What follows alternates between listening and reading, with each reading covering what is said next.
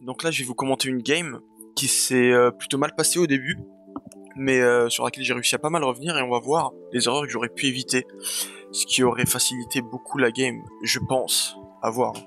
Parce que franchement, c'était vraiment une game serrée. Et du coup, on va voir euh, ce que, j'aurais pu peut-être éviter. Donc là, au début, j'ai essayé d'aller proxy, comme d'habitude, par là, comme ça. Mais bah, la vaille est venue au cover, le chien aussi. Donc euh, là, ils ont essayé de m'empêcher de proxy, ils ont totalement raison. Et là, en fait, j'étais en train de prier pour que le chêne, euh, pour que le chêne aide la vaille au blue. Du coup, euh, j'ai prié pour qu'elle commence au blue.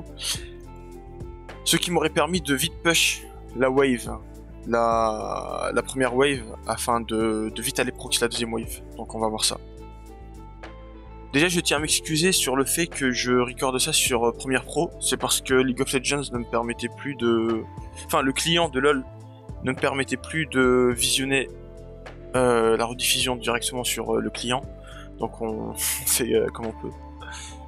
Donc là, malheureusement pour moi, il n'a pas. Enfin, la vaille, la vaille n'a pas commencé au blue. Du coup, pas le choix, je dois lane. Obligé, regardez. Je vais me... Bah ça, ça se passe mal quoi.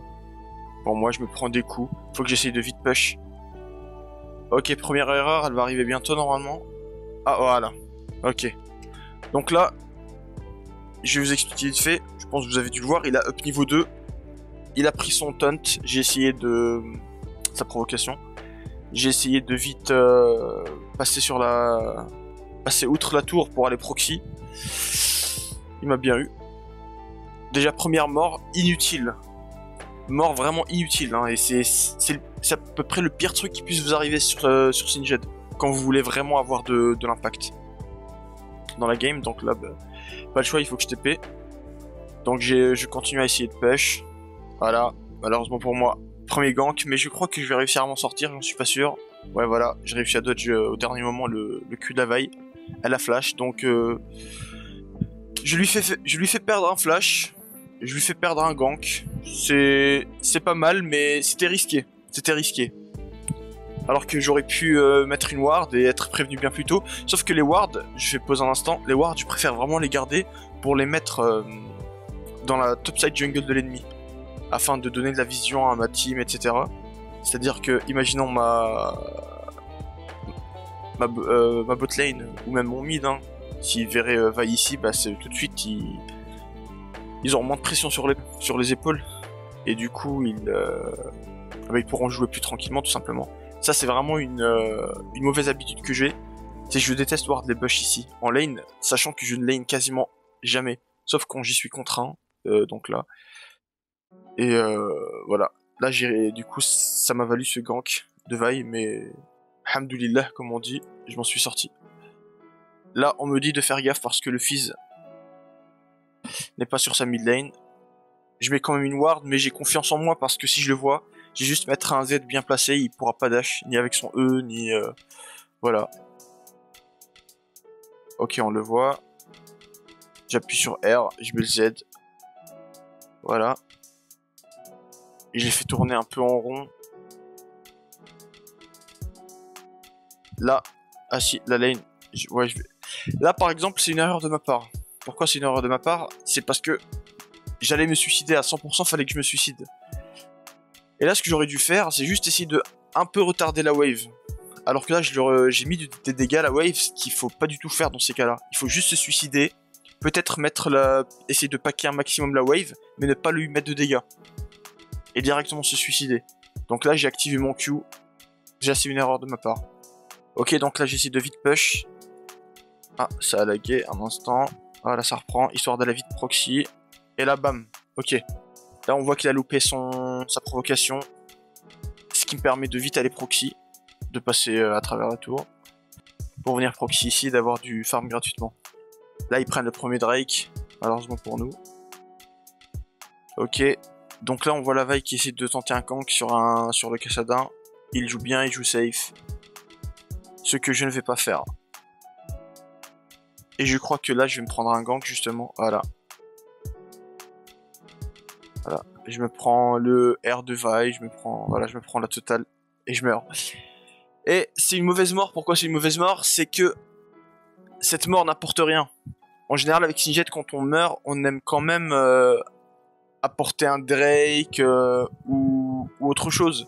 Permettre à notre jungler de d'aller bot lane ou etc. Sauf que là, eh ben, ça n'a absolument rien apporté. Et en général, ce qu'il faut faire avec Sinjet dans ces moments-là, quand vous voyez que votre jungler est derrière, quand vous voyez que votre euh, quand vous voyez que bah, justement en votre team est derrière et que vous ne pouvez rien faire, il faut éviter de mourir bêtement. Parce que si vous voyez que votre team est devant, là vous pouvez risquer parce que même si vous donnez des kills et euh... Ok, là je, je, veux juste revenir sur un point. Le Cassadin a très mal joué. Je sais pas si vous avez vu.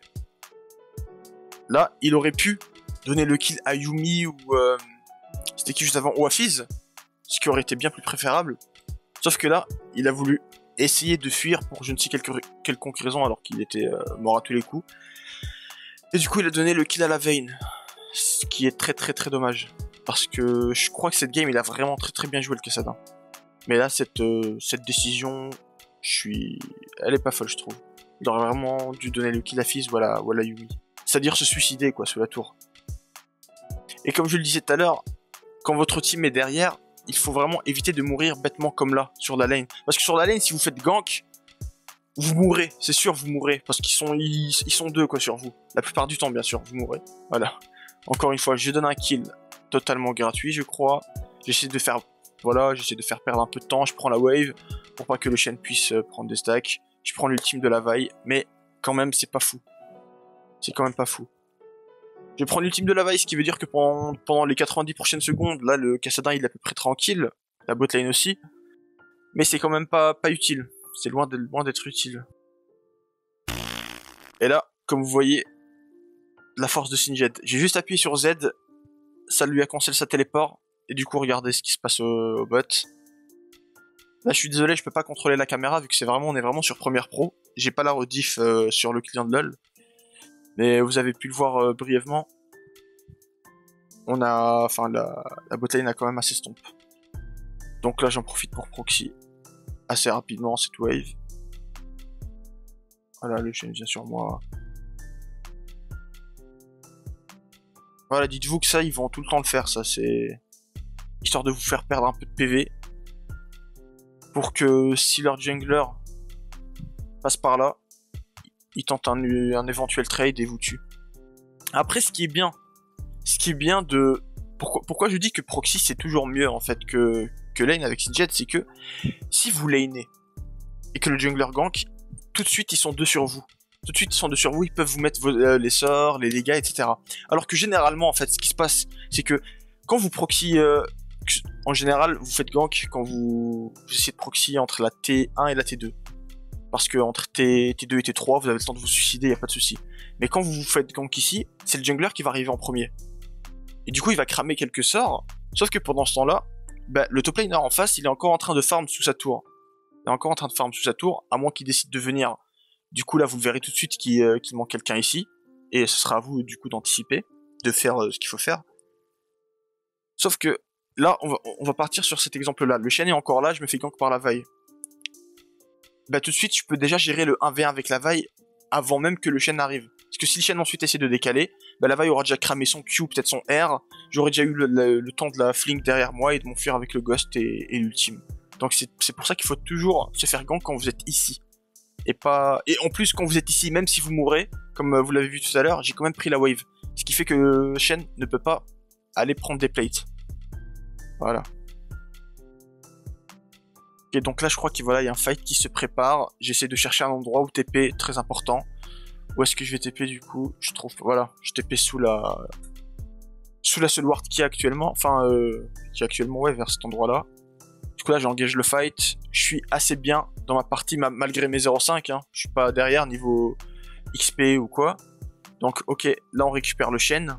C'est moi qui le récupère, tiens, en plus. Ce qui veut dire que je revois des goals maintenant, faut faire attention.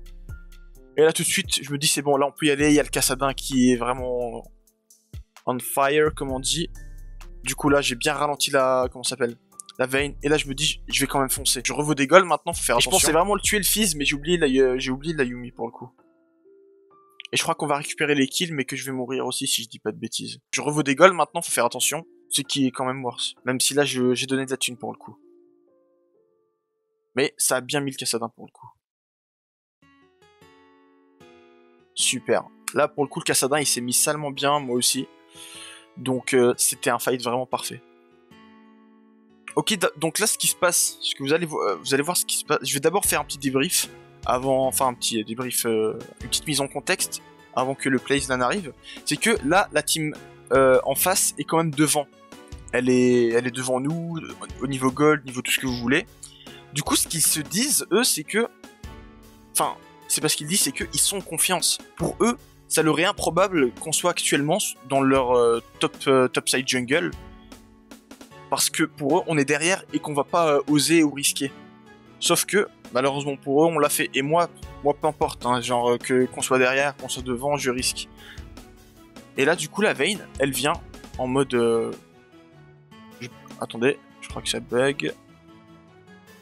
Voilà là elle arrive sans aucun souci. Ce qui se passe c'est que je lui mets mon Z ce qui fait qu'elle peut plus ni Q ni euh, R, je crois qu'elle peut. Mais de toute façon, le R de Vayne sans le Q, bah, c'est inutile. Là, le Kassa a le bon réflexe de mettre l'Everfrost. Et là, on va la one tap. Bam, boum. Voilà. Et ça, c'est des petits moves comme ça, vraiment, qui peuvent vous faire en sorte de... que vous reveniez dans la game, en fait. Du coup, là, on va prendre directement le Herald. Et moi, je vais continuer à push. Ok, donc là on voit le fils qui essaye de tenter quelque chose top. Je sais même pas pourquoi. Je sais que je peux que tenir leurs euh, dégâts parce que j'ai un j'ai un chronomètre, j'ai mon R, j'ai mon ghost. Je suis un minimum tank. Voilà, là il a essayé de R. j'ai appuyé sur Z une deuxième fois. C'est pour ça que quand vous jouez Sinjed avec Shen, gardez quand même un peu l'œil sur lui. Parce que même si vous arrivez à proxy, essayez de, à partir du niveau 6, de pas trop rester loin non plus. Au cas où il essaye de R, au cas où il essaye de TP. Parce que vous avez, juste appuyé sur Z, ça a une range quand même euh, assez correcte, hein, et c'est bon. Certes, il y a quand même toujours le shield hein, de son R, mais vaut mieux ça que, que le chien qui arrive ensuite sur la botlane et qu'il appuie sur E. Ok, donc là, on voit que le fight au top a commencé. Cassadin qui se fait euh, bah, gank, je sais pas comment on peut dire ça. Je sais pas si on peut dire, dire gank euh, à ce moment-là de la partie. Je crois que je vais, voilà, j'ai réussi à lui sauver la vie. Et je pensais vraiment qu'on allait gagner ce fight, au final. Et, enfin, non. Au final. Là, j'essaye quand même de bloquer. Je, sais pas si vous avez vu, j'ai zigzagué avec la vaille pour essayer de lui... Euh, pour voir qu'elle puisse échapper avec son Q. J'ai réussi à prendre le kill, mais là, malheureusement, je vais mourir. Là, vu que j'avais cramé mon chronomètre, j'essaie de, de, récupérer 500, 500 thunes pour euh, bah, tout simplement pour le Zonia. Du coup, je retourne à la top lane et, histoire de faire encore un peu vivre ma tour. Voilà, je me fais gank par le Fizz.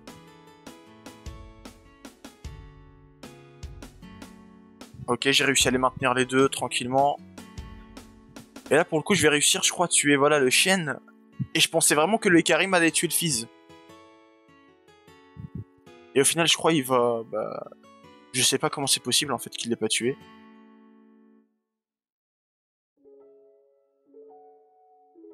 Et du coup, ça va nous faire perdre, ça va nous faire perdre, perdre ce fight. Même si bon, le Cassadin, grâce à ça, il va réussir à prendre la, la tête de bot.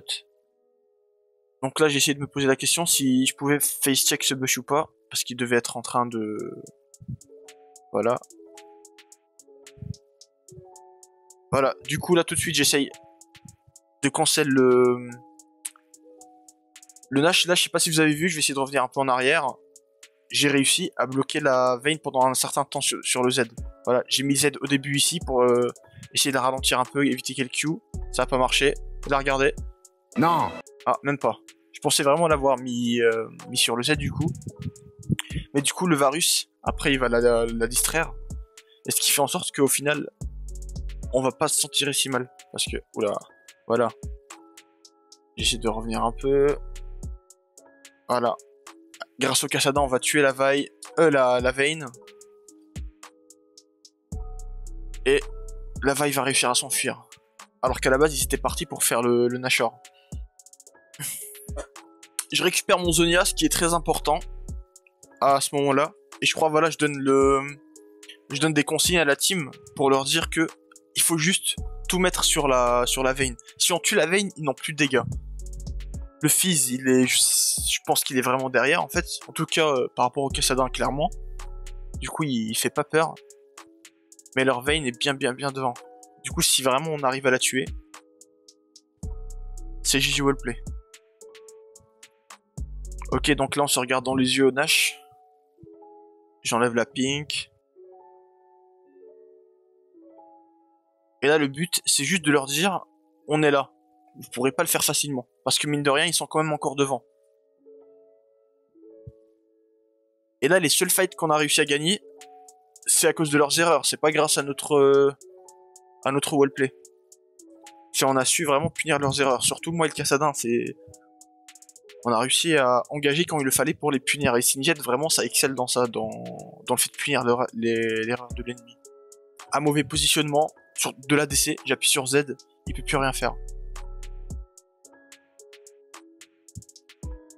Ok, là je crois que je vais me prendre une... Euh,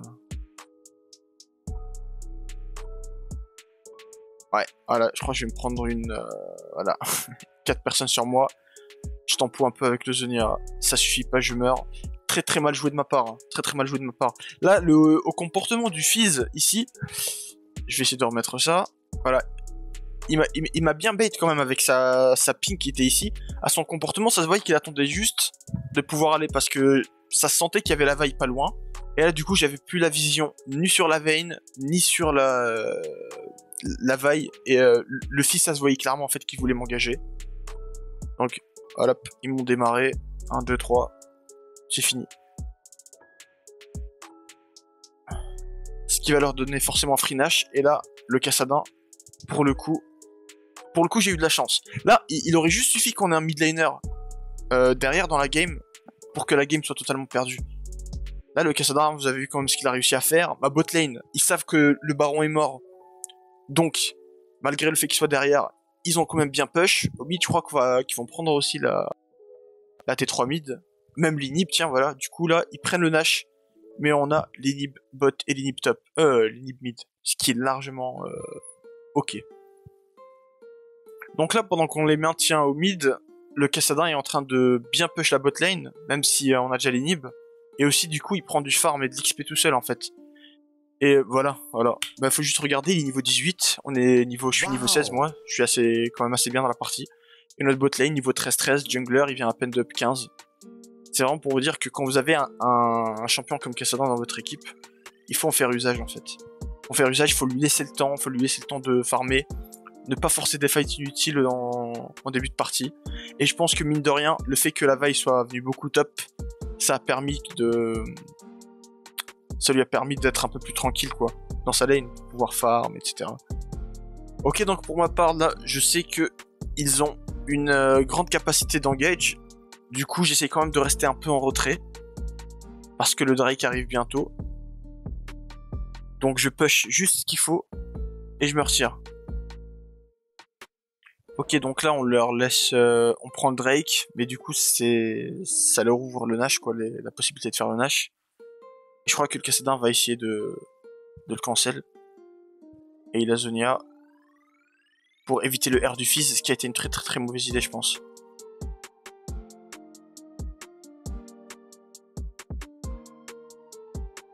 Est-ce qu'on va réussir à tuer la Vayne? Elle, a réussi à vraiment, vraiment super bien kite la veine là ici. Hein. Certes, je tue de chaîne, mais. Là, pour le coup, le Cassadin aurait dû nous attendre. Parce que certes, attends-nous, donne-leur le dash, euh, les laisse pas back, mais attends-nous en fait. Attends que c'est moi qui a. que moi ou Karim euh, en premier en fait. Parce que là, pour le coup, le R, il s'est pris le R du fils, il a été obligé de Zonia. Et si euh, il aurait eu son Zonia là, le fight aurait été certainement gagné. Après, ça va, on fait quand même 2 pour 3. Enfin, 3 pour 2. Et là, clairement, regardez, voilà, je lui ai dit. Cassadin, tu dois tous les ignorer, à part la veine. Ok, donc là, le Cassadin est en train de camper. Voilà, c'était Ward. Et il se fait catch. Ce qui est très très très grave pour nous. Donc là, le Varus essaie de s'échapper. avec la Sona, etc. Le Fizz, malgré son, manque incroyable de dégâts, va réussir un peu à faire le taf. Et là, la veine, elle va juste... euh, Bam bam bam. Et là, je pensais que la game était perdue, mais attendez la suite, je crois que je vais, réussir à la sauver. Ok, c'est-à-dire que là, ils essaient de prendre la tour, j'esquive le la provocation du chêne. Et là, vu que je sais que je peux pas gagner les fights en fait avec le Karim, il réussit à tuer le fils, c'est super. Ils sont plus que 3 du coup, euh 4. Mais là, regardez ce que je vais faire. Je peux pas les fight en 1v4, hein, clairement pas. Je décide de prendre la prochaine wave avec les, les super sbires.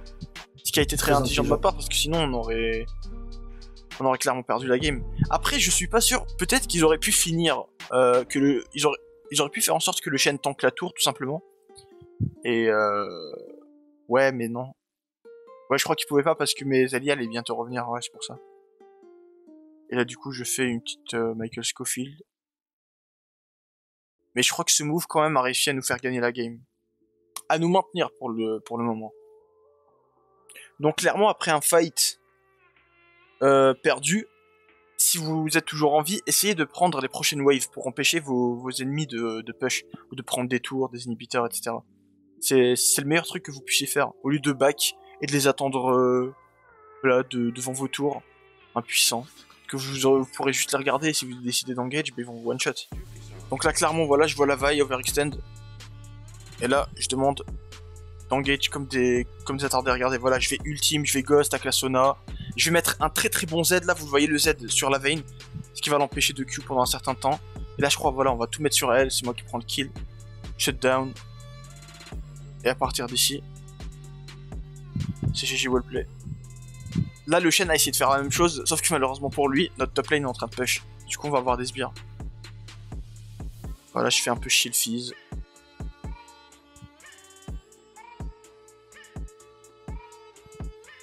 Voilà, Isonia, je lui mets un Z. Hop, il peut ni E, ni Q, ni faire ce qu'il veut. Il meurt. Et donc, euh, voilà. Du coup, si je devais euh, résumer un peu mes erreurs du de début, voilà. Les erreurs que j'ai faites au début, c'était quoi? C'était de bah, mourir bêtement, tout simplement. Attendez, je vais la revenir. Mourir bêtement sans, sans que ma team en profite. Parce qu'en général, avec Singed, le- l'objectif c'est d'être utile pour l'équipe. Alors que là, je donnais gratuitement des kills chaînes, notamment le premier. Je suis mort euh, débilement sous sa tour, parce qu'il il avait up niveau 2 et il m'attend sur la tour. Euh, j'ai donné des kills à la vaille aussi au début, sans que Ikarim ne puisse rien faire. Et là, pour le coup, c'est, il faut éviter de faire ça. Quand votre équipe est derrière, quand vous voyez que votre jungler, c'est pas quelqu'un qui prend des initiatives. Parce que, par exemple, actuellement, je, je duo avec un jungler qui est vraiment, euh, que, que j'aime beaucoup. Il suffit juste qu'il voit euh, le jungler en face top lane, grâce à une de mes wards, pour qu'il va instant Drake. Après, certes, il utilise des, il joue des junglers qui prennent le Drake facilement, Viego et Kane. Après, Karim aussi, c'est pas dégueulasse, hein, logiquement, pour prendre le Drake. Mais là, le Karim, on a bien vu hein, qu'il était pas entreprenant. Il a, il attendait l'écho, le, bref, il, c'était pas lui le, le leader, quoi. Donc, euh, j'aurais dû m'en rendre compte et me dire, ok, je vais jouer tranquille. Je vais jouer tranquille, je vais essayer de pas int, etc. Je vais attendre euh, de bonnes occasions pour TP bot. Après, certes, j'en ai eu une seule d'occasion pour TP bot. Mais euh... sinon, voilà, à peu près pour mes erreurs.